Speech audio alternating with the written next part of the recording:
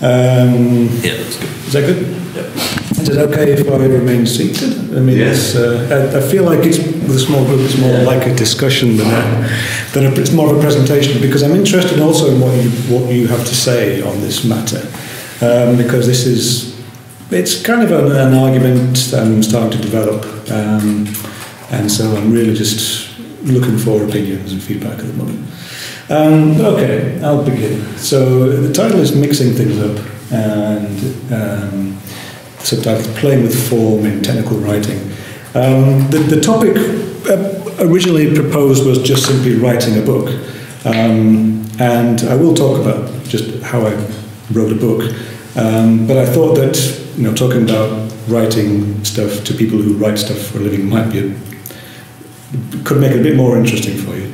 Um, so I will go from this broad idea of writing a book to something a bit more specific um, because I, I want to make a point about style and approach in, uh, in writing, particularly technical writing.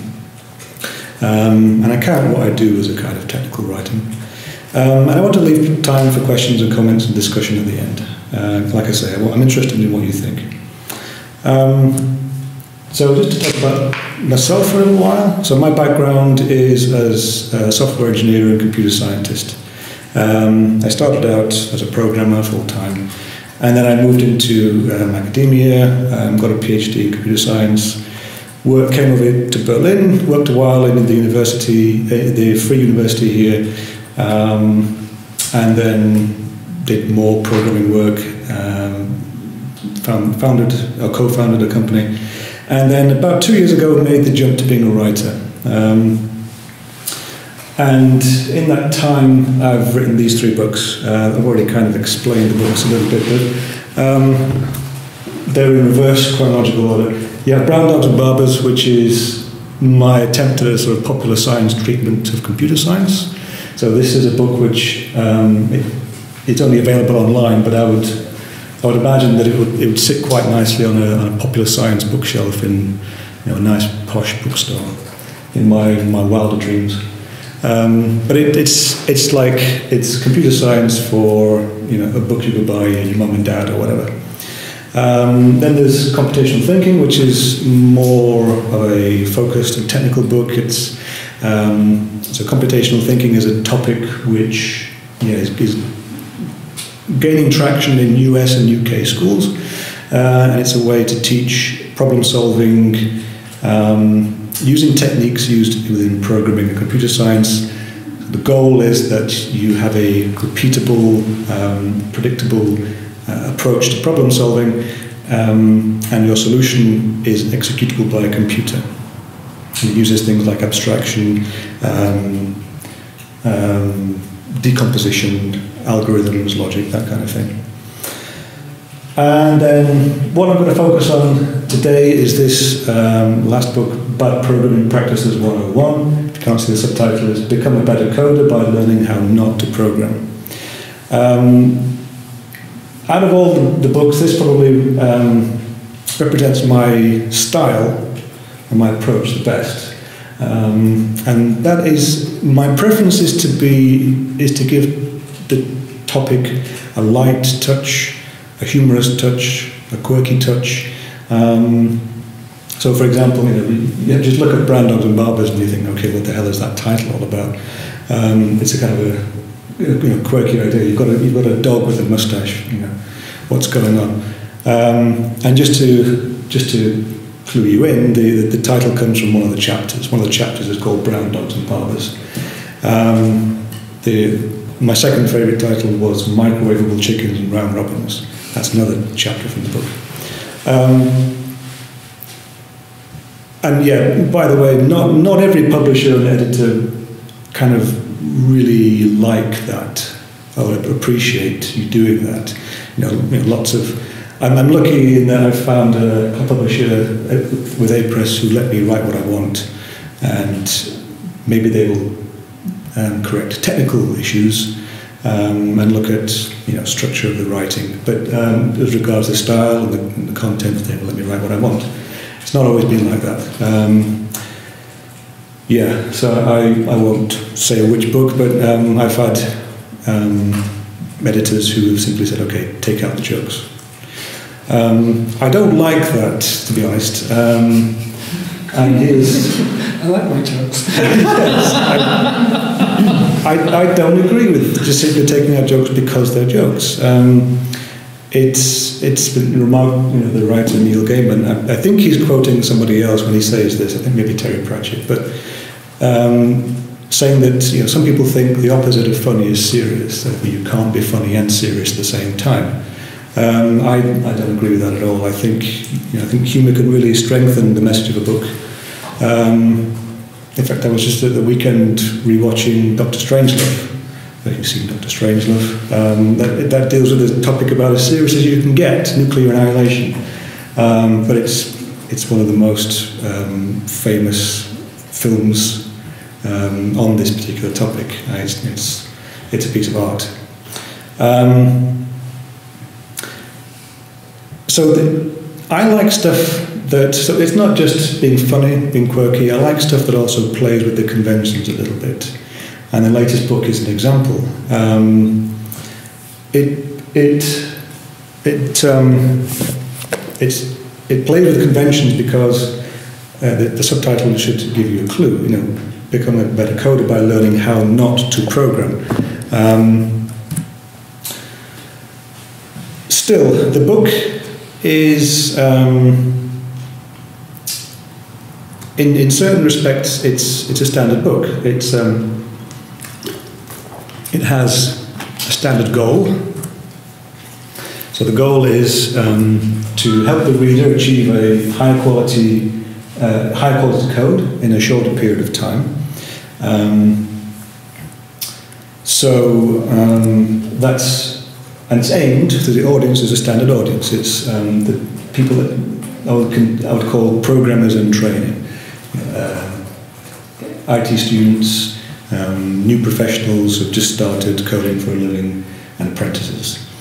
Um, so, with, with regards to the goal, um, it, the, the, the goal um, it, it, it's a standard goal, and if you're if you're if you have a program professionally before, you know that um, a lot of the time you have this idea of inspection, code inspection. There are quality gatekeepers. They're usually your colleagues or your your bosses, um, and they review what you review your code, and you know uh, if it's if it's bug prone or it's it has um, poor if it's not up to standard you know, they will reject it. Um, and so it's, it's all about um, practices. So they want you, your colleagues want you to follow good practices and avoid bad practices. Um, but when I thought about the book, so I, I, knew that I wanted to write a book like this, but when I thought about the, the, the style and the approach, um, there, there, was a problem, and that's that was I knew that a best practice is not always universally applicable. Um, so, for example, um, should you use a go-to statement or should you ban the use of go-to? Well, um, some people will say yes, you should just ban it. Other people say, well, no, you shouldn't ban it. You can. It's sometimes in certain situations the best thing, the best approach to use, um, or a valid approach to use. Um, so, yeah, this idea of, of best practices, you know, is, is, is tricky because you can get a group of programmers together and say, what's the best practice here? So you get three programmers together and say, what's the best practice? You'll get three different answers maybe. Um, so that's tricky. Another problem is that the field moves very fast. Computer, computing, uh, computing in, moves incredibly quickly. So a list of good practices, um, you write it one year and then you know a year or two later, it's not current anymore because new practices have come along. Um, so a list of good practices wouldn't stay current for very long. Um, but as much as programmers argue over good practices, or the so-called best practices, they, they don't argue so much over bad practices, in my opinion, in my experience. Um, then they will more readily agree on what a bad, when, when a practice is bad, and you should just simply avoid it. Um, and there's also a good in some in some um, respects, in, in some practices, there is a good body of research um, um, which will back up the, the fact that this is a bad practice. Now, around the same time, I was um, I was reading this book, How Not to Write a Novel: 200 Mistakes to Avoid If You Ever Want to Get Published. Um, so I, I kind of took inspiration from the approach and the style of this book. So it's it's by these two uh, writers, Mittelmark and Newman, and what they do is they take the usual here's how to do something book. So here's a list of good practices. And they, they invert it, they, they flip it on its head. And they give you a load of stuff you shouldn't do. So they say things like, um, you know, make your characters flawless and unrelatable. And everybody hates a character who is just perfect and, um, you know, it has no, has no um, flaws, no drawbacks or keep the tension levels low. You know, we all love a story that has no tension in it. Uh, have the protagonist have the protagonist overcome obstacles with ease. So it's no challenge whatsoever for this protagonist to get what he or she wants.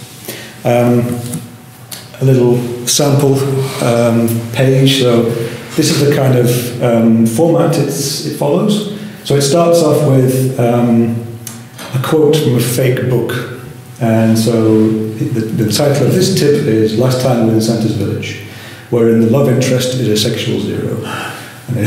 so this, I'll read it out for you. Melinda surveyed Santa's generous frame, his bright red suit, his snowy beard. She shook his plump hand uh, in both hers and sighed. At last she saw past super, superficialities eh, to understand that it was Santa with his warm and loyal heart, who was a real man, not cobalt-eyed, washboard-abbed blade at all. Santa Claus was always her best friend. Could he be something more? And they followed up. Seems okay. Depends on the quality yes. exactly, context is everything. What they say, and then they, they flip into a sort of a more reasonable voice. So this is kind of like the real advice. It's okay, no, absolutely not. Santa cannot be under any circumstances more than just a friend. So the cuddly best friend character may not be disgusting, but it is utterly lack sex appeal. In the many novels where he turns into love interest by the story's end, the novelist always puts him through a more or less subtle masculinization. So really what they're saying is that, um, you know, um, it's got to be it's got to be a um, a realistic um, a realistic love interest here. Um, Sounds like it was written by a man. it was actually written by a man and a woman. So, um, Women have a different idea. yeah, so make your own conclusions. That really just is a small sample just to give you the, the idea of their approach, and their style. So every every tip has a fake quote, which is you know, kind of humorous, and then um, the more reasonable voice steps in. Um, so you have lots of bad ideas, lots of bad examples, and they explain why they're bad examples. Um, so, it, so it occurred to me this approach would suit uh, a programming practice book quite well, I thought, because instead of a bad writing practice, what you have is bad programming practice. Instead of editors, you've got code reviews. So instead of trying to win over an editor, you have to win over your, your, your code inspectors, your colleagues who are inspecting your code. Instead of becoming or trying to trying to become an aspiring failed novelist, you're aspiring to become um, a, a, code monkey or chaos monkey. So someone who um, is trying to introduce bugs, someone who's trying to uh, make a mess of things, um, and is trying to get their stuff rejected. Um, and when I looked for it, I couldn't find it. I couldn't find a book like this. So, to my disappointment, it didn't already exist. But to my delight, it didn't already exist because that meant I could write it. So that's what I did. Um, and that's the result. And as you can see here, so so the book style is is the style and the approach are unusual. So if I just quote um, some of the blurb uh, from the book, it gives advice as if the reader seeks to become a failure, a programmer who ignores the rules and follows the worst practices, programmer whose contributions are regularly rejected, or on the rare occasion they make it through review, create nasty bugs in once functional software. And occasionally, a reasonable voice interjects and explains why a particular practice is viewed as bad. Uh, it might be because of a consensus from professionals, or it might be because of some empirical research.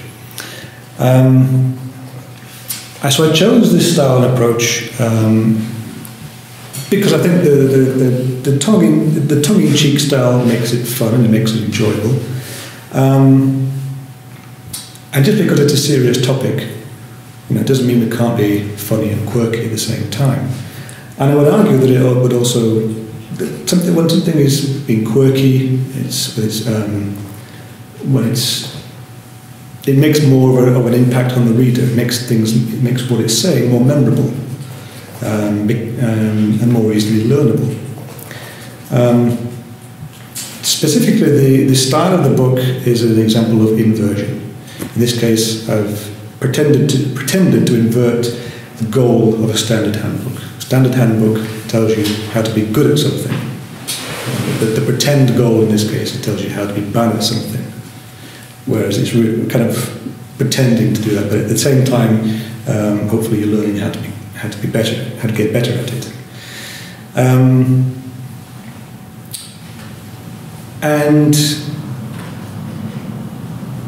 and coming up with with this, these kinds of um, different approaches is um, something which you can find in, um, in, in, in the literature. So there's a couple of books I have on hand one is called uh, Game Stormers, and one is called Thinkertoys. And I don't know if you're familiar with these books, but they are they're full of um, literally games that you can play in order that they're aimed at people who are you know maybe programmers or some kind of knowledge workers who are trying to solve problems, but they want to attack the problem a different way. Or they want to attack it from a creative angle to try and come up with um, a better, a better, a better solution or non-standard solution. And um, so this is actually an example of the anti-problem game.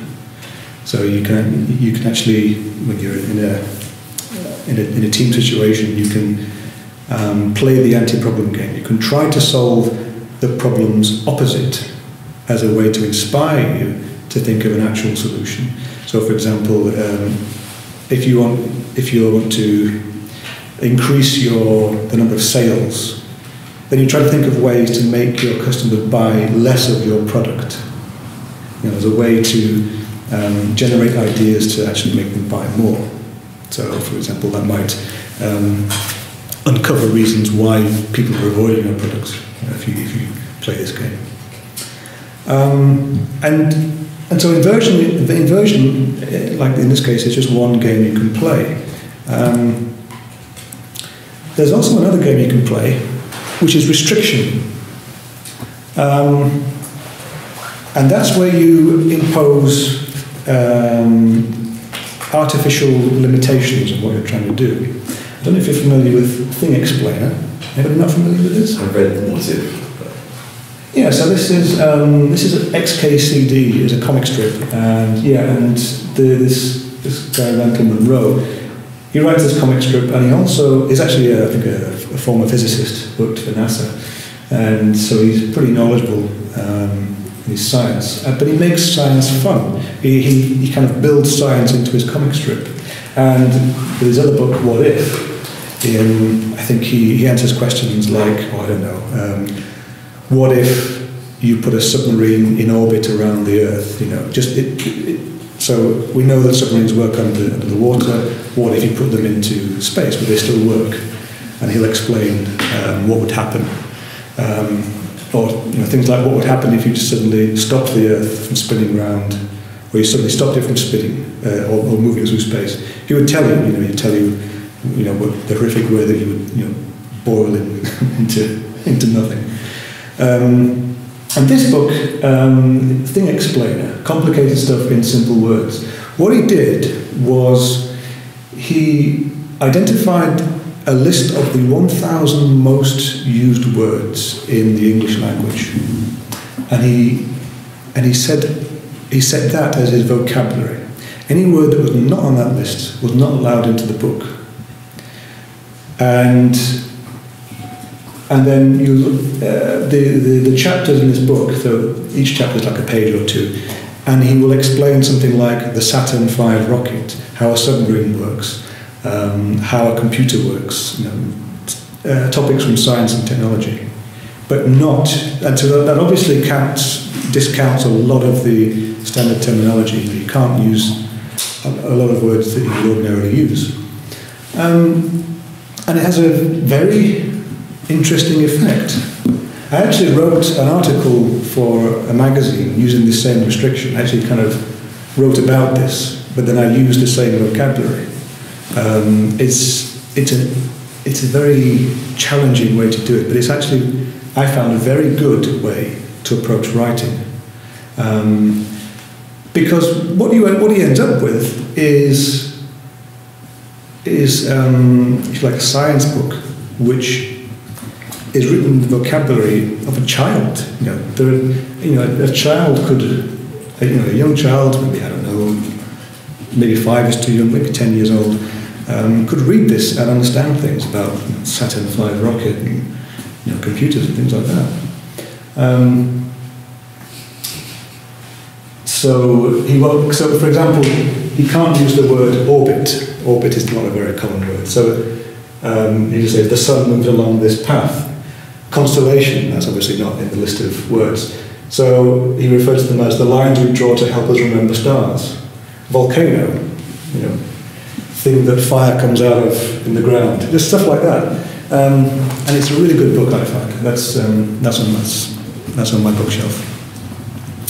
Um, a similar book in this vein is also another book I have, which is, I think, 50, uh, 50 things from mathematics you must know. It's like a coffee table book. And each subject must fit onto two pages. And you have things like uh, polynomials, game theory, probability, you know, lots of stuff from mathematics explained. But you, the author had to stick to two pages. Um, again, it, it, has a very interesting effect um, on, on, the way it reads. And this is, um,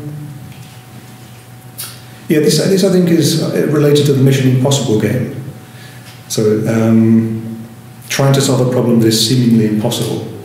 So, you know, imagine trying to stick to 1,000 words when you're trying to write. Um, you know, it may be um, the Mission Impossible game, people might say, okay, um, we, we need a, a, group of people need to work out how to build a house. How do you build a house in one day? That's seemingly impossible, but it, it might lead to some creative solutions. How can we create a mobile device that doesn't use a battery? Again, it seems impossible, but um, it may lead to creative solutions. One more type of game, there are lots of, there are lots of these creative games, lots of these forms you can, you can uh, use. One more is the um, unconventional pairings. One of my favourites, I think. Um, I don't know if you're familiar with this book, The Thrilling Adventures of Lovelace and Babbage. This is um, this is a book, Sydney Padua, and it explains some of the most fundamental things of computer science. You know, things like how the analytical Babbage's analytical engine works. You know, but it's actually a steampunk style comic strip. Um, it, it, literally is a comic strip. It's, um, it's, it's, you know, these two characters going on adventures, solving computer science problems and teaching the reader how computers work and things like that. So what you've done there is um, you've, you've paired you know, science, scientific instruction book with a comic strip. Um, not very conventional, you know, really playing with form there. Um, I've, I've seen things like um, programming and painting. I, I, there's, a, there's an author, what's his name? Is it Paul Graham, who, who draws analogies between how to program and how to paint. Again, I've never seen that anywhere else. I've actually not read that book, um, so I can't tell you if, it's, if it works or not, but He's pretty famous. he is pretty famous, so I guess it works for him. Um, and I'm particularly, I, I particularly like this kind of, I, this approach of unconventional pairings. I kind of played a little game with myself uh, in preparation for this. So I just took um, a list of um, topics and a list of different forms. I just made a huge list of them. And I just randomly put these things together with no particular, semi-randomly, uh, with no particular uh, direction, just to see what you, what you could come up with. Um, so, kind of random pairings. What a thing in the form of this. So, a something that explains development processes, software development processes, in the style of a choose your own adventure book. So I don't know, you, you read it. So if you remember the choose your own adventure books, so you know if you fight the goblin, go to page 56. If you run away, go to page 93. Um, you know, would that work? I don't know. I'd like to try. It sounds kind of fun.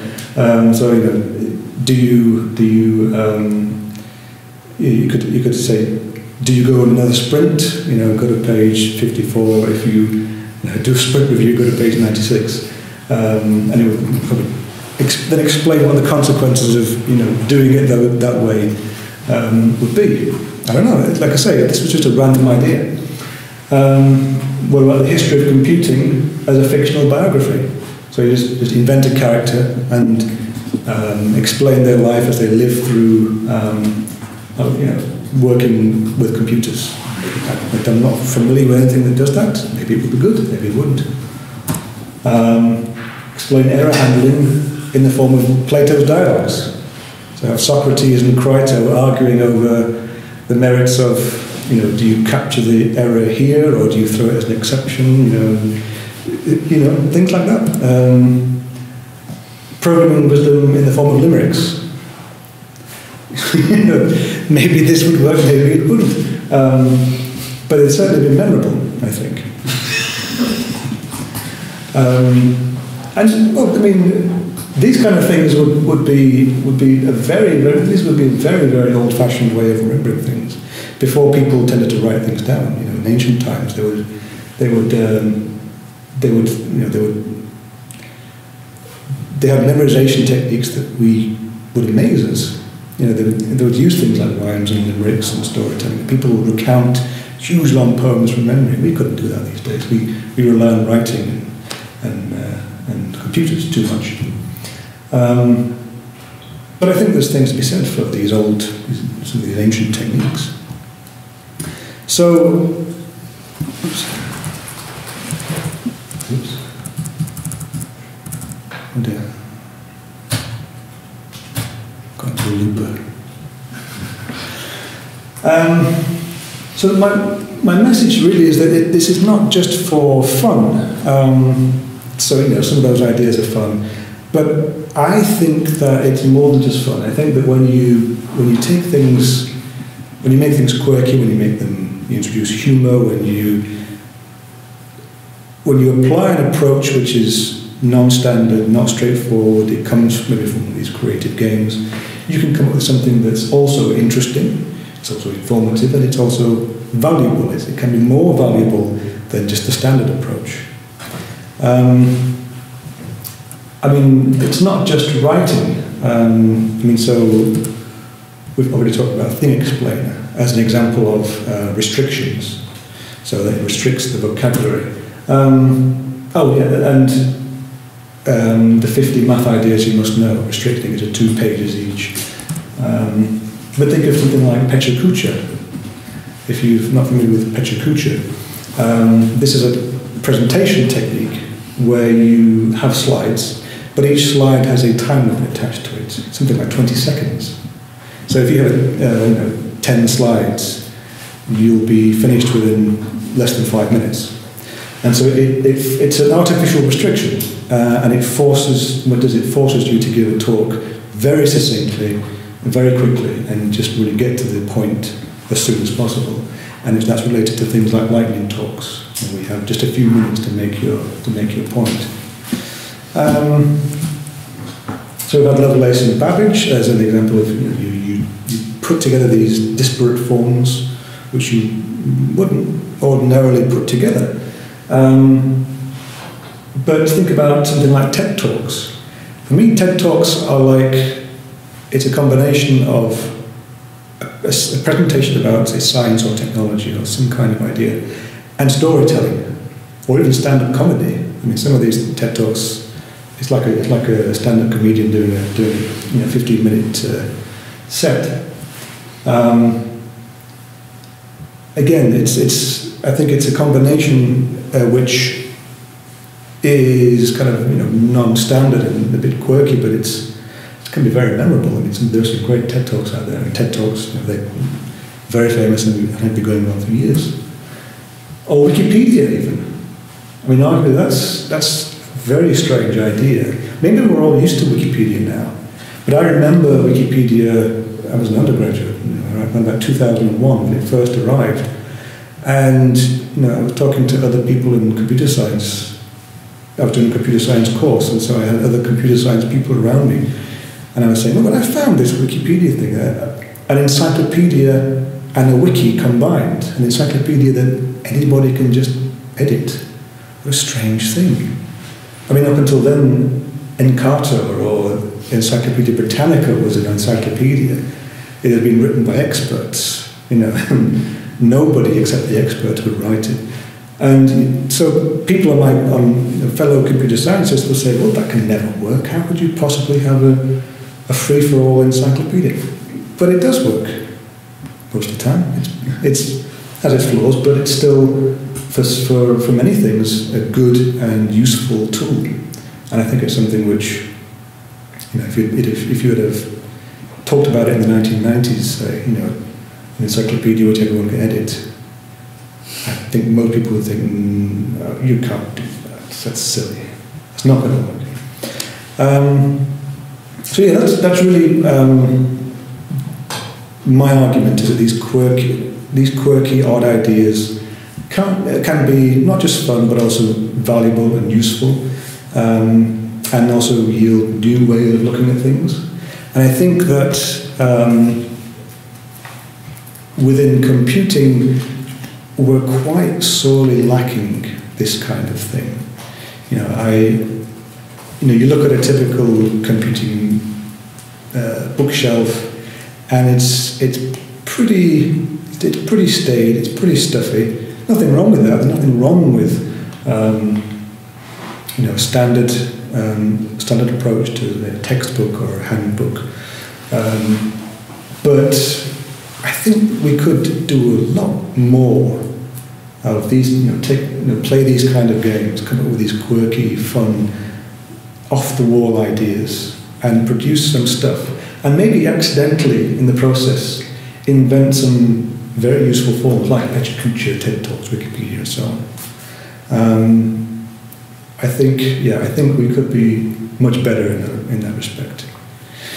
So that's that, that's really all I'm beginning to say. Um, and I'm interested in what what you think about that.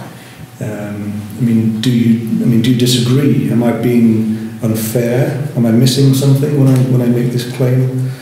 Um, or do you maybe agree?